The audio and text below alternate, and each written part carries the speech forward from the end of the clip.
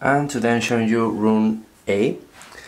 So here we are we have a carpet floor that's a radiator there.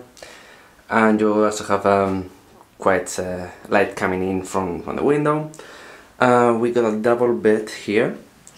And uh, that's like it's a closet but just for the for the boiler but maybe you can use it for some storage maybe there for a suitcase or something. And this is the wardrobe so it's just the, the regular wardrobe the same as you have seen many times. And then here we have we have some shelves but as well some drawers. So you have plenty of space as well to put some more clothes or some more of your stuff. And you also have a space to put a desk if, if you would like to or need to. So this is room A